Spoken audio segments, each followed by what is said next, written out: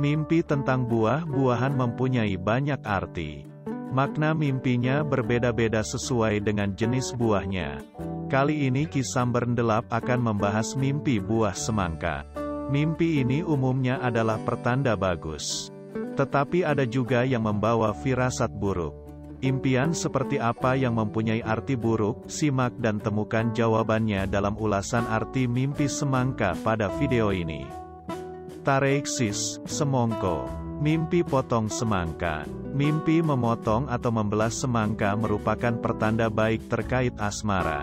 Dikabarkan bahwa siapa pun yang mengalami mimpi ini akan bertemu dengan pasangan hidupnya dan akan segera menikah dalam waktu dekat.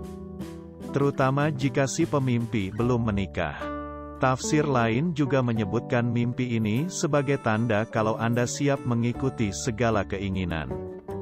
Jika mimpi melihat semangka dibelah artinya benar-benar memotong segala keraguan dalam diri.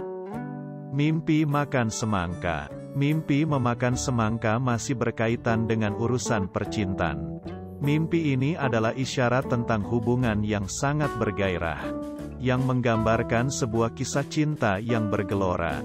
Anda mungkin juga bermimpi makan semangka tanpa biji, artinya kurang lebih sama juga.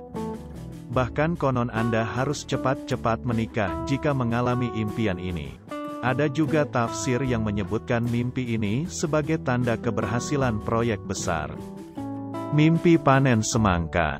Bermimpi tentang memanen buah-buahan melambangkan kesuburan dan kesejahteraan. Mimpi panen semangka juga menandakan kelimpahan dan keberkahan dalam hidup Anda. Bagi Anda yang belum punya anak, mimpi panen semangka bisa jadi pertanda akan segera hamil dan melahirkan bayi. Mimpi buah semangka besar atau semangka raksasa. Mimpi melihat semangka raksasa menandakan pengakuan dari orang banyak. Artinya segala celaan dan hinaan yang Anda dapat akan berubah menjadi pujian. Demikianlah tafsir mimpi kali ini, jika ada pertanyaan silahkan tulis di kolom komentar. Jangan lupa subscribe, like, dan share, terima kasih.